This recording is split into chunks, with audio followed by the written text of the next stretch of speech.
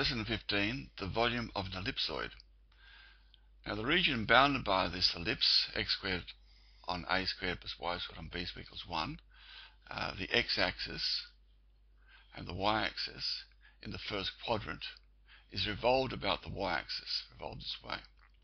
We've determined the volume generated and hence show that the volume of an ellipsoid is 4 thirds pi a squared b. Now if we start off here with that's x and that's dy. So we're getting having a, we having a cylinder this way, and the radius of this here is x, and the height is dy. So the volume, the small bit of volume, is pi x squared dy. And the limits will range from 0 to b because you can see that when um, here that when x equals naught, right, y squared equals b squared, so y equals b, and similarly x is equal to a. So this is where we're integrating from. We're moving up here from 0 to b. So setting it up, we have the volume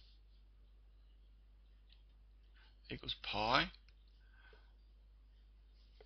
between b and naught of x squared dy.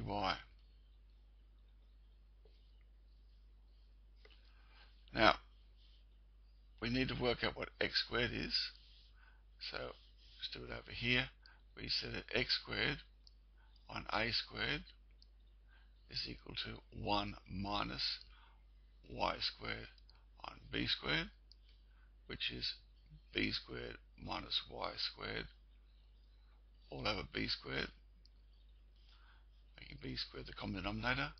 So x squared is equal to a squared on b squared So the b squared minus y squared. Right, now we're ready to pop that in. Now this a squared on b squared, I'll put outside the integral sign. So the volume is equal to pi a squared on b squared outside of b squared minus y squared. Right, we're all set to go now.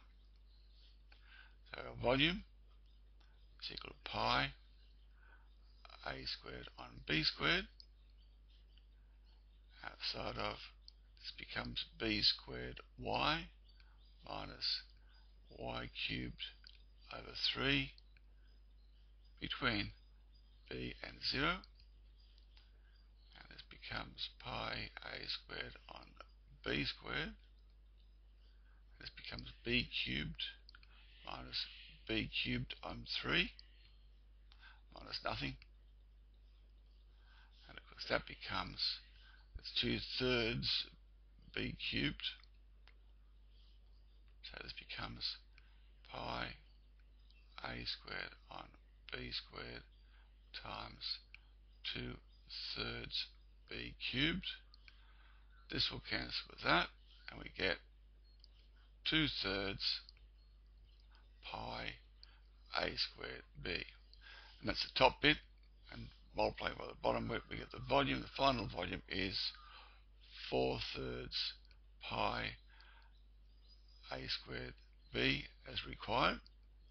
And we notice that uh, if we let b equal to a, b equal to a, making that now a sphere, when we, when we revolve it, that becomes 4 thirds pi a cubed, and that, as we know, is the volume of a sphere.